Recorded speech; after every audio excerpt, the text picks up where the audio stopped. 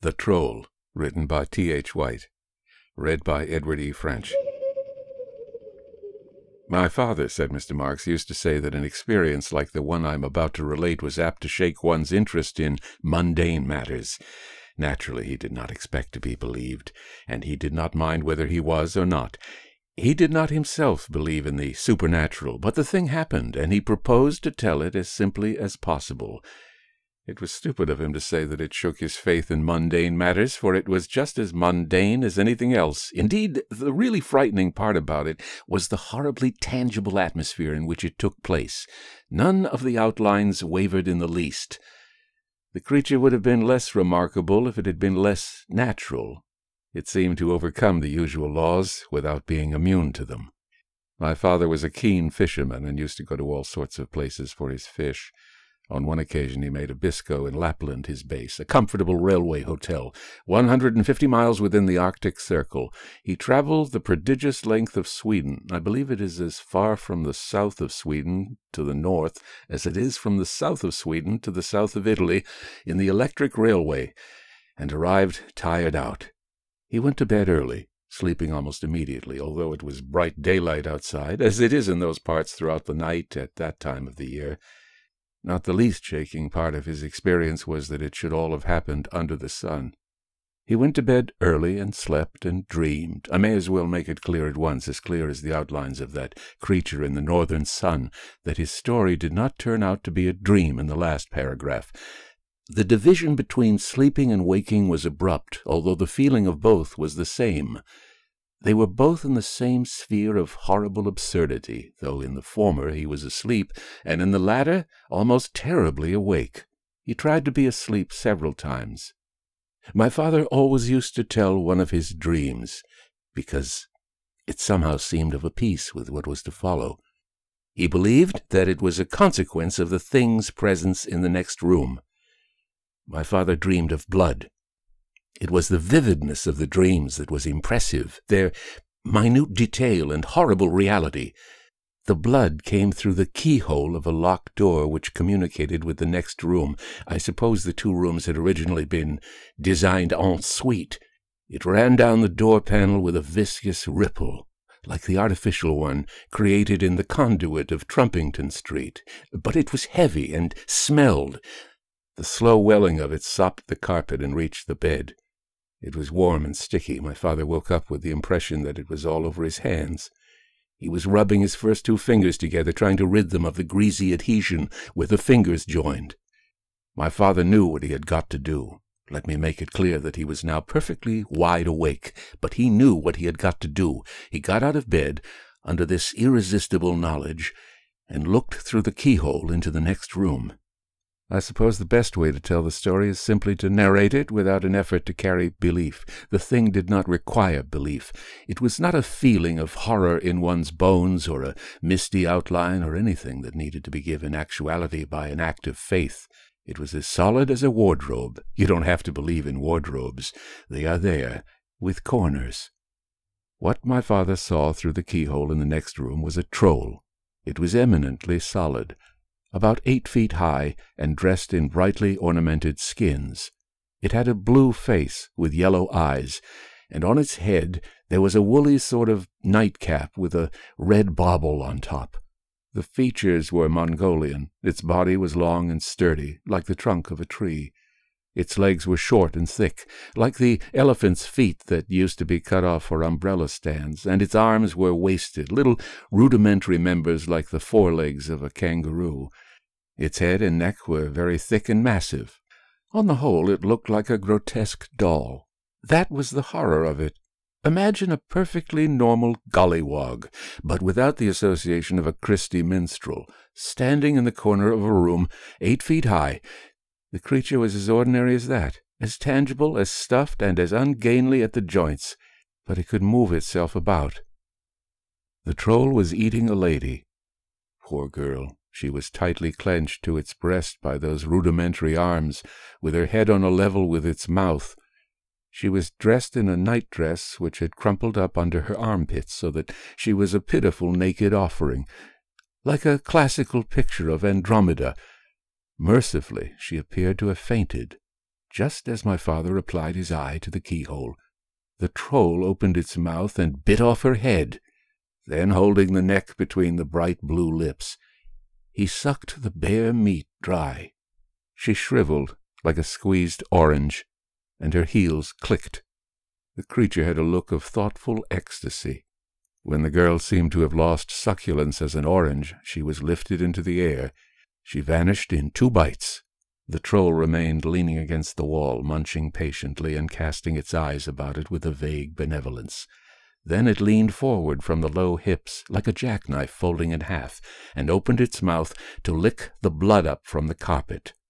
The mouth was incandescent inside, like a gas fire, and the blood evaporated before its tongue, like dust before a vacuum cleaner.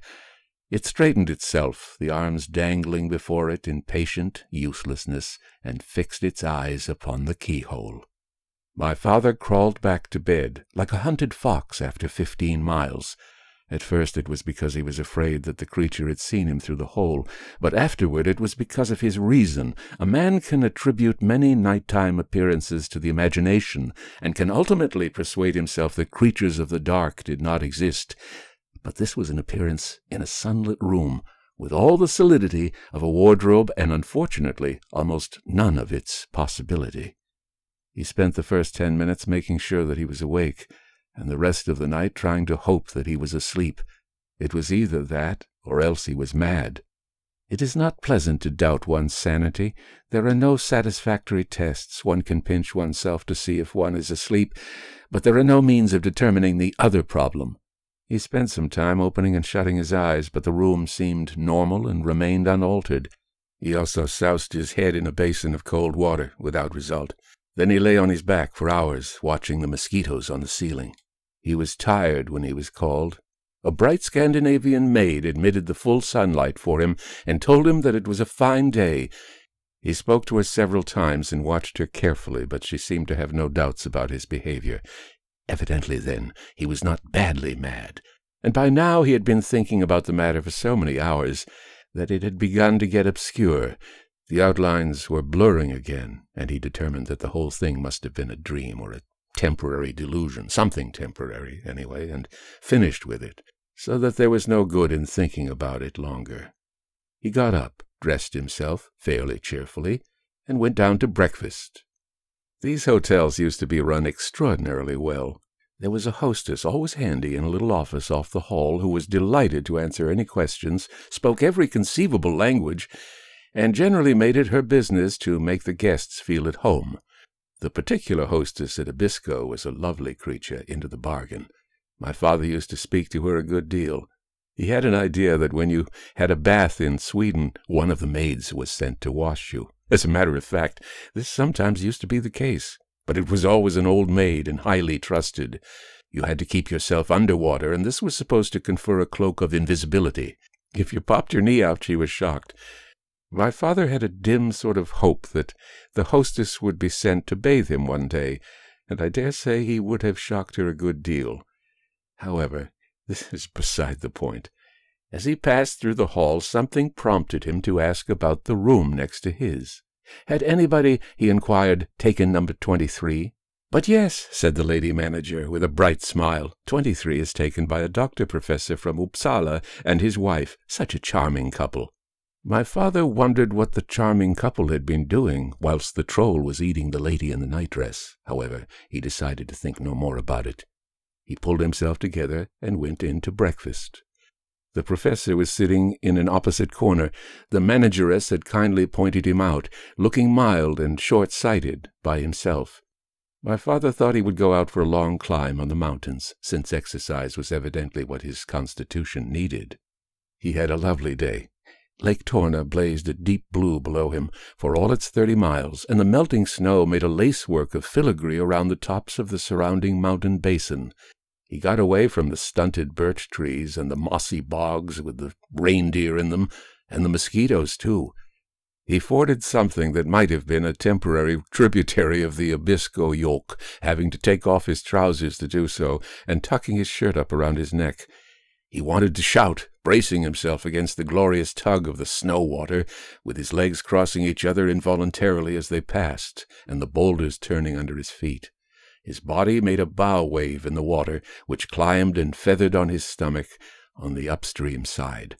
When he was under the opposite bank, a stone turned in earnest, and he went in. He came up shouting with laughter, and made out loud a remark which has since become a classic in my family.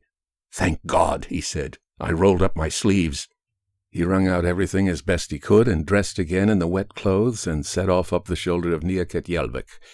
He was dry and warm again in half a mile. Less than a thousand feet took him over the snow line, and there, crawling on hands and knees, he came face to face with what seemed to be the summit of ambition. He met an ermine. They were both on all fours, so that there was a sort of equality about the encounter, especially as the ermine was higher up than he was. They looked at each other for a fifth of a second without saying anything, and then the ermine vanished. He searched for it everywhere in vain, for the snow was only patchy, my father sat down on a dry rock to eat his well-soaked luncheon of chocolate and rye bread. Life is such an unutterable hell, solely because it is sometimes beautiful. If we could only be miserable all the time, if there could be no such things as love or beauty or faith or hope, if I could be absolutely certain that my love would never be returned, how much more simple life would be. One could plod through the Siberian salt mines of existence without being bothered about happiness. Unfortunately, the happiness is there. There is always the chance, about 850 to 1, that another heart will come to mine. I can't help hoping and keeping faith and loving beauty. Quite frequently I am not so miserable as it would be wise to be. And there, for my poor father sitting on his boulder above the snow, with stark happiness beating at the gates. The boulder on which he was sitting had probably never been sat upon before. It was a hundred and fifty miles within the Arctic Circle, on a mountain five thousand feet high, looking down on a blue lake. The lake was so long that he could have sworn it sloped away at the ends, proving to the naked eye that the sweet earth was round. The railway line and the half dozen houses of Abisko were hidden in the trees. The sun was warm on the boulder, blue on the snow, and his body tingled smooth from the spate water.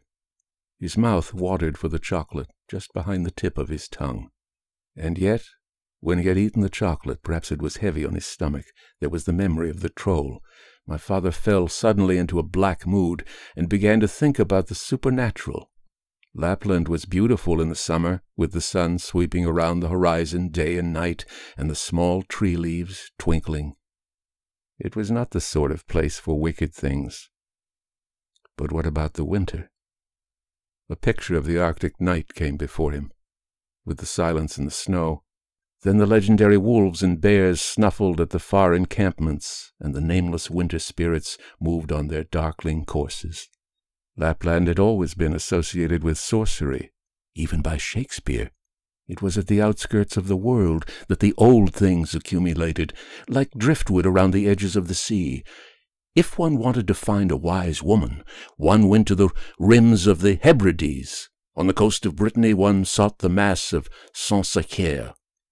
And what an outskirt Lapland was! It was an outskirt not only of Europe, but of civilization. It had no boundaries. The Lapps went with the reindeer, and where the reindeer were was Lapland. Curiously indefinite region, suitable to the indefinite things. The Lapps were not Christians. What a fund of power they must have had behind them to resist the march of mind.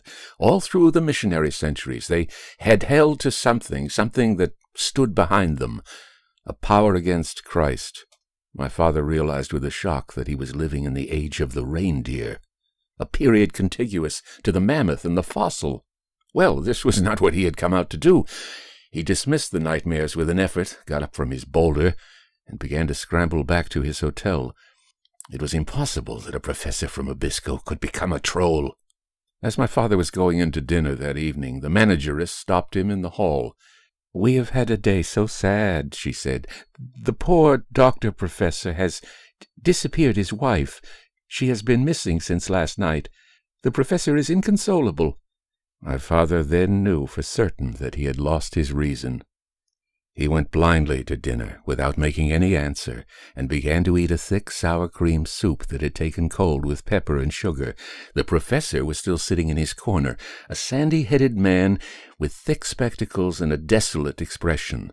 He was looking at my father, and my father, with a soup spoon halfway to his mouth, looked at him. You know the eye-to-eye recognition, when two people look deeply into each other's pupils and burrow to the soul.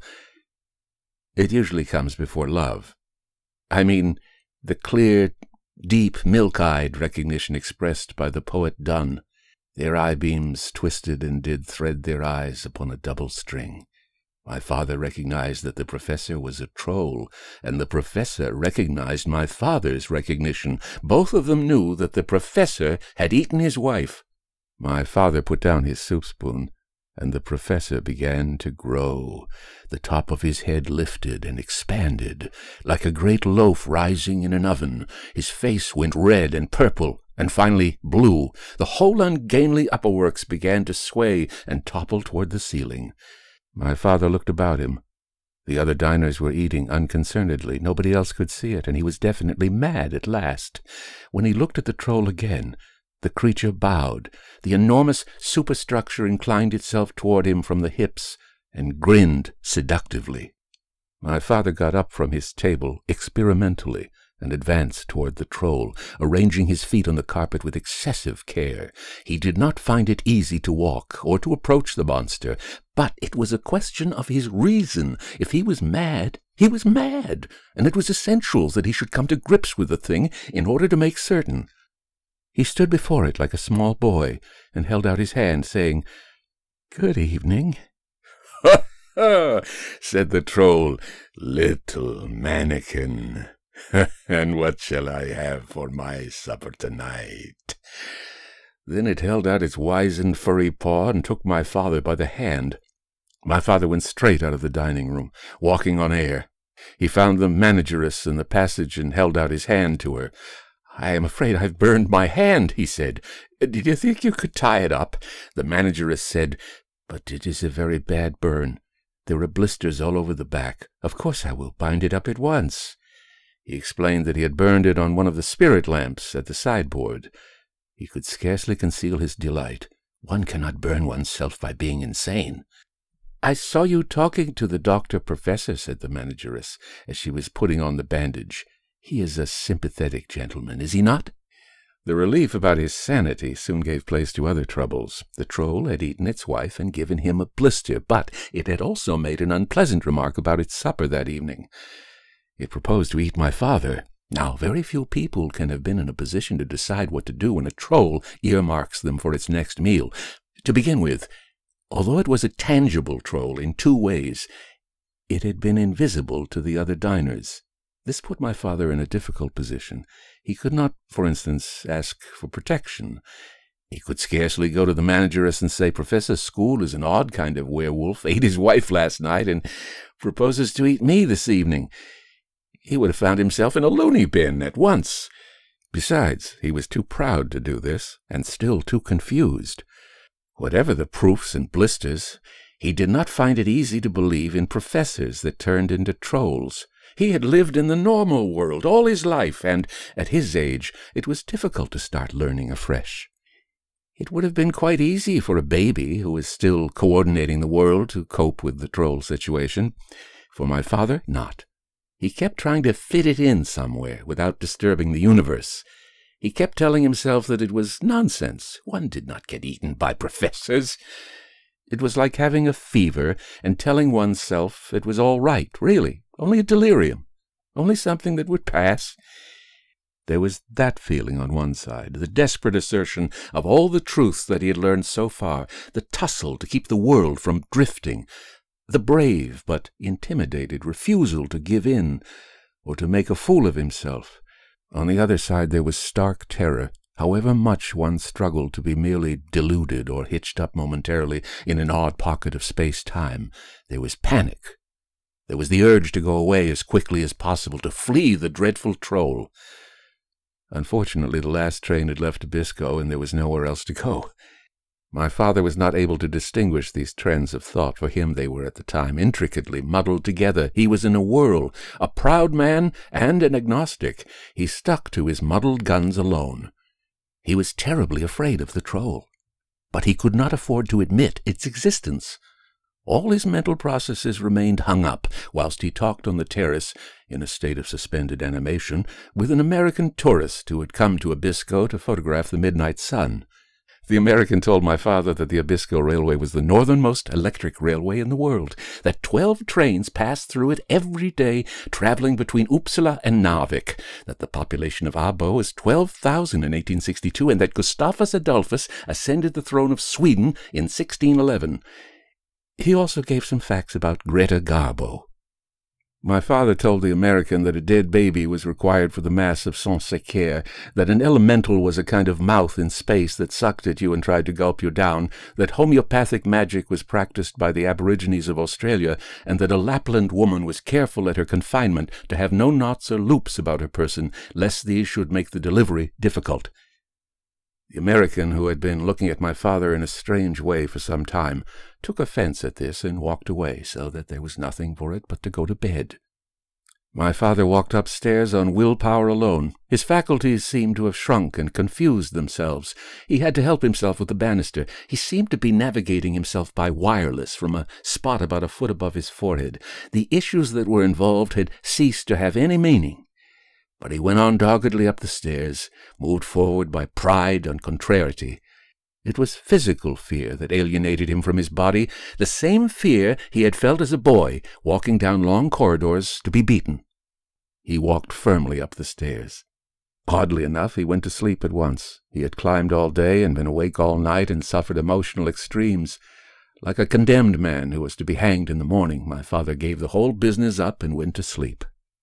He was woken at midnight exactly. He heard the American on the terrace below his window explaining excitedly that there had been a cloud on the last two nights at 11.58, thus making it impossible to photograph the midnight sun. He heard the camera click. There seemed to be a sudden storm of hail and wind. It roared at his window sill, and the window curtains lifted themselves taut, pointing horizontally into the room. The shriek and rattle of the tempest framed the window in a crescendo of growing sound, an increasing blizzard directed toward himself. A blue paw came over the sill. My father turned over and hid his head in the pillow. He could feel the doomed head dawning at the window and the eyes fixing themselves upon the small of his back. He could feel the places, physically, about four inches apart. They itched, or else the rest of his body itched except those places.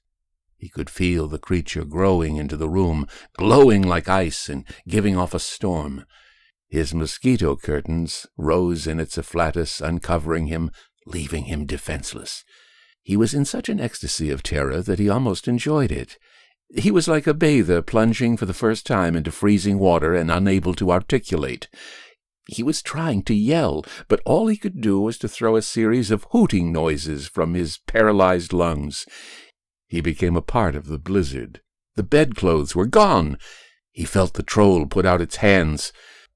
My father was an agnostic, but like most idle men, he was not above having a bee in his bonnet. His favorite bee was the psychology of the Catholic Church. He was ready to talk for hours about psychoanalysis and the confession. His greatest discovery had been the rosary. The rosary, my father used to say, was intended solely as a factual occupation which calmed the lower senses of the mind. The automatic telling of the beads liberated the higher centers to mediate upon the mysteries. They were a sedative, like knitting or counting sheep. There was no better cure for insomnia than a rosary. For several years he had given up deep breathing or regular counting. When he was sleepless, he lay on his back and told his beads. And there was a small rosary in the pocket of his pajama coat. The troll put out its hands to take him around the waist. He became completely paralyzed, as if he had been winded. The troll put its hands upon the beads. They met the occult forces in a clash above my father's heart. There was an explosion, he said, a quick creation of power, positive and negative, a flash, a beam, something like the splutter with which the antenna of a tram meets its overhead wires again when it's being changed about. The troll made a high squealing noise, like a crab being boiled, and began rapidly to dwindle in size. It dropped my father and turned about and ran wailing as if it had been terribly burned for one window. Its color waned as its size decreased. It was one of those air toys now that expire with a piercing whistle. It scrambled over the window sill, scarcely larger than a little child, and sagging visibly. My father leaped out of bed and followed it to the window. He saw it drop on the terrace like a toad, gather itself together, stumble off, staggering and whistling like a bat, down the valley of the Abiskojokk. My father fainted. In the morning the manageress said, There has been such a terrible tragedy. The poor doctor professor was found this morning in the lake. The worry about his wife had certainly unhinged his mind. A subscription for the wreath was started by the American, to which my father subscribed five shillings, and the body was shipped off next morning on one of the twelve trains that travel between Uppsala and Narvik every day. The End. The Troll was written by T. H. White and read for you by Edward E. French. This recording is copyright 2024 by Edward E. French. Inquiries are invited at email edwardfrench06 at hotmail.com. And subscribe to our Fiction Fantastique channel if you haven't already. That's www.youtube.com forward slash Ouch. French Edward 06. Good night.